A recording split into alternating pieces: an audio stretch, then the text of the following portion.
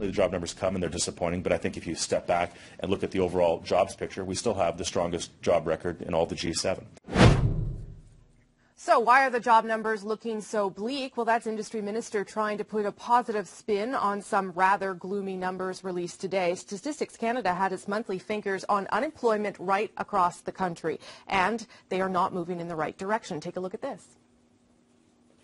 Canada shed close to 46,000 jobs last month, most of them full-time positions. Those job losses, plus more people looking for work, drove the unemployment rate from 6.9% up to 7.2%. And last year had the slowest job growth rate in the past four years. So why are the numbers so bleak? Is the government's rush to balance the books actually costing Canadians jobs? Joining me now from Toronto, Conservative MP and uh, member of the House Finance Committee, Mark Adler, NDP finance critic, Peggy Nash, uh, and in Halifax, Liberal finance critic, Scott Brison. Welcome, everybody. Pleasure. Happy Good to be with you. Good to see you all. Mark Adler, let, us start with you. This uh, drop in full-time jobs, and that's an important part to, to note, does that indicate a more significant slowdown than, than we had been thinking? Well, you know, Rosemary, let's, let's uh, um, be clear here. Our government remains focused on what matters most to Canadians, and that's jobs, growth, and long-term prosperity.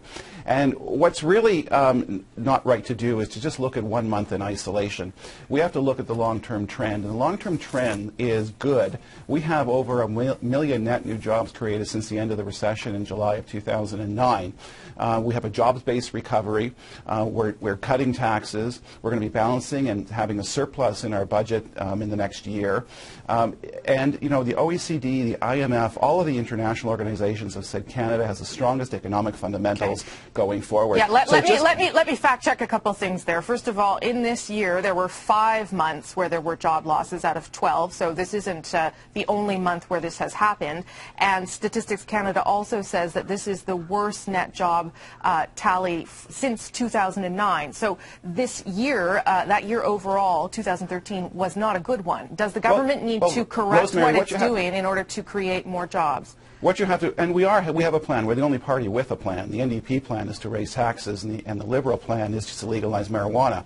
Our plan is clear. It's a low-tax plan based on job creation, and we have been creating jobs. You cannot look at one month in isolation of all of the uh, I, But I'm not. But I'm not looking at one month. Those two, those two facts that I just gave you were independent facts from December. I said that there were five other months out of the year where there had been job losses, and that this is the worst performance in terms of job creation since 2009. Does that not well, show that the government well, Rosemary, to correct as. It may, what you have to do is look at the trend, and the trend last year, 2013, showed that we created over 100,000 net new jobs, 85% of those full-time, 80% of those in high-paying sectors. So if you look at the trend, the trend is good.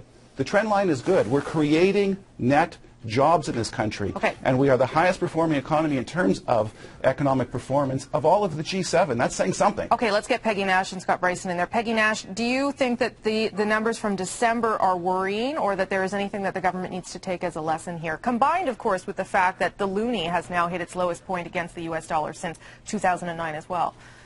Rosemary, the job numbers are very worrying. Uh, in, in, the Conservatives like to brag about job creation, but the facts just don't support it. In fact, 2013, we're talking not just one month, but one year, was the weakest in terms of job creation since the recession. And more worrisome is we're losing a lot of good full-time jobs. And we have double, double-digit youth unemployment. So we're seeing a generation of young people that can't get a toehold in the job market. And this could have repercussions in the Canadian economy mm. for decades to come. So not only are they worried by this, but their parents are worried about it. It's going to affect a generation of middle-class families. And clearly the Conservatives think steady as she goes, everything's fine. We don't buy it. We think they're asleep at the switch, and they have to get serious about job creation. Okay, Scott Brison, your take on these numbers combined with the loonie. I don't know if you can address that as well. Well, today Minister Flaherty said that the trend is going in the right direction. He's wrong, and he's showing why uh, the Conservatives are so out of touch with, with middle-class families and the challenges they face. There are 264,000 fewer jobs for young Canadians than before the downturn, and the young Canadians are struggling and their parents and their grandparents are, are subsidizing them and trying to support them. And that is leading to some of the highest levels of personal debt in the history of Canada. If the, if the Conservatives want to talk about jobs, growth, and prosperity, let's look, look at that. In terms of jobs, 264,000 jobs for young Canadians than before the downturn. In terms of growth, anemic 1.6% growth in Canada. And in terms of prosperity, record high levels of personal debt. So if the Conservatives are saying those are their three priorities, they're failing on all three. Okay, let me uh, show people a little bit of what the finance minister had to, to say in a statement today. You've, you've all alluded to it, but let me show people. Uh, Jim Flaherty says the following, quote, We sympathize with those Canadians who lost their job last month. This is a reminder that the economic recovery remains fragile and we must stay focused on our plan to grow the economy and keep taxes low to create the environment where job creation can flourish. Mark Adler, let me go back to you. Uh, do you think that uh, keeping taxes low is really the key to job creation? Does that, i i does that still uh, hold water, that idea right now? Absolutely, and we have seen by lowering the corporate tax rate to 15%, the federal rate at any rate, that um, uh, tax revenues have actually increased, and it is attraction, attracting jobs, is attracting investment, and is attracting prosperity. Now let's keep in mind, you know, as the finance minister said, of course we sympathize with those people, and our job will not be finished as a government until everybody who needs a job can get a job. Nobody's saying our job is done. This is a part of a plan that we have had in place under Finance Minister Jim Flaherty, who is rated the best finance minister in the world, under our Prime Minister Stephen Harper, who is recognized as, the, as, as one of the best economic planners of, um, in the world. Let me just Yeah. tell you something. Yeah. Let me just tell you something.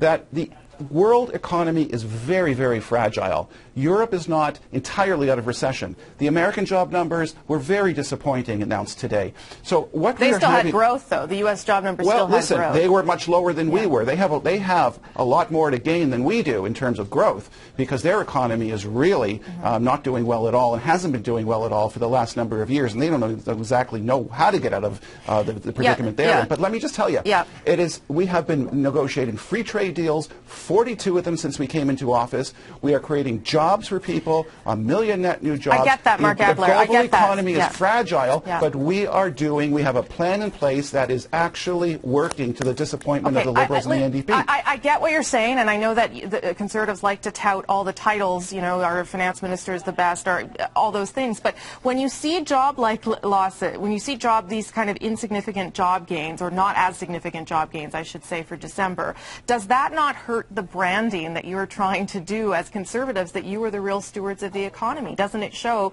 that maybe that is not the case?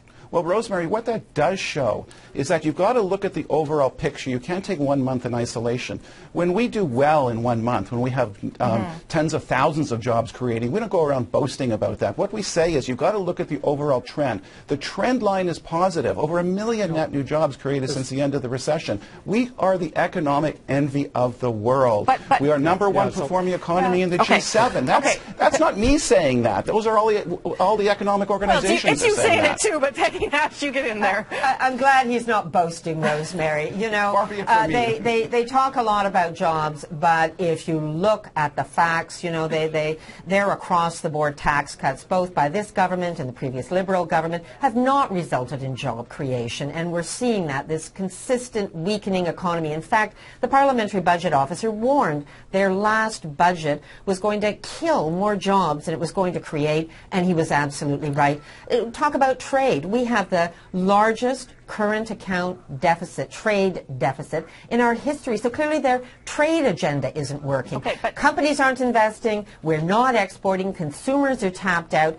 This government should be focused on a job creation What does that mean, budget. Peggy Well, Nash? What, Rosemary. Pe- Well, let, let me let me just ask Peggy Nash, what, what is one thing that you think the government should do that would help? And then Scott Brison, you can get in there.